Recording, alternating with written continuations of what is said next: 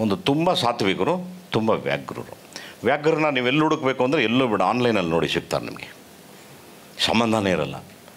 ನೀವು ದೇವ್ರ ಬಗ್ಗೆ ಇವಾಗ ಬೇಕಾದ್ರೆ ನಾನು ಮಾತಾಡಿರ್ತೀನಿ. ಆ ಲಾಕ್ಡೌನ್ ಬಗ್ಗೆ, ಹೇ, ನಿನ್ನ ಅಮ್ಮನ ಮುಚ್ಚ. ಅಮ್ಮನ, ಏಯ್, ದರಿದ್ರದವನೇ, ಬೇವರ್ಸಿ, ಹಲ್ಕ. ಅವ್ನು ಯಾರು ಅನ್ನೋದೇ ಗೊತ್ತಿರಲ್ಲ. ಭಾಳ ಸಂತೋಷ ಪಡ್ತಾರೆ. ಪಾಪ ಬಯ್ಯೋದು ಅಂದರೆ ಒಂದು ಆನಂದ ಅವರಿಗೆ. ಸಂತೋಷ ಪಡ್ತಾರೆ, ಆನಂದ ಪಡ ಅದೊಂದು ವರ್ಗ. ಇನ್ನೊಂದು ವರ್ಗ ಇದೆ. ತುಂಬ ಸಂತೋಷ ಸರ್ ಎಷ್ಟು ಒಳ್ಳೆ ಮಾತು ಹೇಳಿದಿರಿ. ನಿಮ್ಮನ್ನು ನಾವು ಪಾಲಿಸ್ತೀವಿ, ಈ ಥರ ಇರ್ತೀವಿ. ರಿಯಲಿ ಸೂಪರ್ ಸರ್ ಅನ್ನೋ ಒಂದು ವರ್ಗ ಆಗುತ್ತೆ.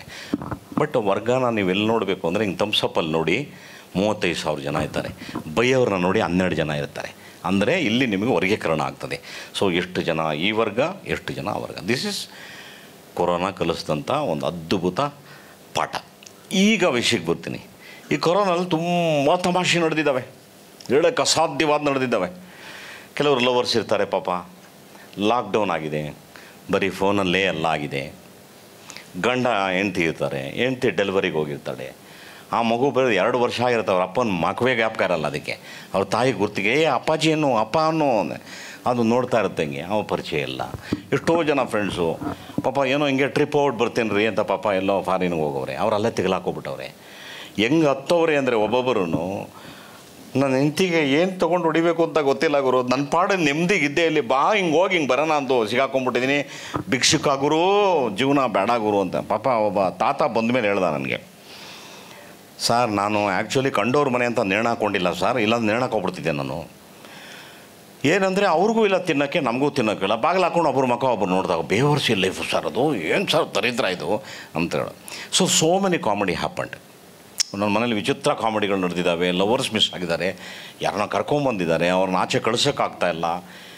ಇದನ್ನು ಡೈರೆಕ್ಟ್ರು ಕಂಡುಹಿಡಿದಿದ್ದಾರೆ. ಇದೇ ಕತೆ. ಇನ್ನು ಮುಂದೆ ನಾನು ಹೇಳಲ್ಲ.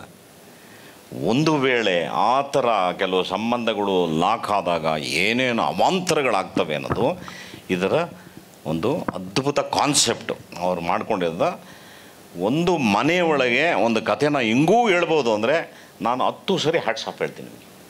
ಎರಡನೇ ವಂಡರ್ಫುಲ್ ಸರ್ ನಾಲ್ಕು ಸರಿ ಆಫ್ ಹೇಳ್ತೀನಿ. ತುಂಬ ಕಷ್ಟ. ಪೆನ್ ಹಿಡಿಯೋದೇ ಕಷ್ಟ. ಹಿಡಿದ ಮೇಲೆ ಜನರು ಕೂರಿಸುವಂಥ ಕತೆ ಬರೆಯೋದು ಕಷ್ಟ. ಅದಾದಮೇಲೆ ಅದು ತಕ್ಕನಂಗೆ ಸಂಭಾಷಣೆ ಬರೆಯೋದು ಕಷ್ಟ. ನಂಗೆ ತುಂಬ ದೊಡ್ಡ ಅನುಭವ ಇದೆ. ಪಾಪ ಎಲ್ಲರಿಗೂ ಒಂದು ಆಸೆ ಇದೆ. ಸಿನಿಮಾ ಮಾಡ್ತೀನಿ ಸರ್. ಭಾಳ ಸಖತ್ ಒಳ್ಳೆ ಪ್ರೊಡ್ಯೂಸರ್ ಹಿಡಿದೀನಿ ಸರ್. ಒಳ್ಳೆ ಕಾಸು ಇದೆ ಸರ್. ಅವ್ರಿಗೆ ಯಾವುದು ಹೋದ್ರೂ ಏನು ಸಮಸ್ಯೆ ಇಲ್ಲ ಸರ್.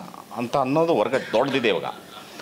ಸರ್ ಒಂದು ಸಿನಿಮಾ ಮಾಡ್ತೀನಿ ಸರ್ ನನ್ನ ಬಜೆಟ್ ಚಿಕ್ಕದು ಸರ್ ಬಟ್ ನಾನು ಗೆದ್ದೇ ಗೆಲ್ತೀನಿ ಸರ್ ಒಳ್ಳೆ ಸ್ಕ್ರಿಪ್ಟ್ ಕೊಟ್ಟಿದ್ದೀನಿ sir you just listen sir ಅಂತ ಹೇಳೋರು ಹತ್ತು ಪರ್ಸೆಂಟಿಗೆ ಬಂದ್ಬಿಟ್ಟವ್ರು ಆ ಹತ್ತು ಪರ್ಸೆಂಟಲ್ಲಿ ನೀವು ಒಬ್ಬರು. ಅದನ್ನೇ ವೆರಿ ಗುಡ್ ಸ್ಕ್ರಿಪ್ಟ್ ತುಂಬ ಚೆನ್ನಾಗಿದೆ. ನಗುಗೆ ಬರ ಇಲ್ಲ.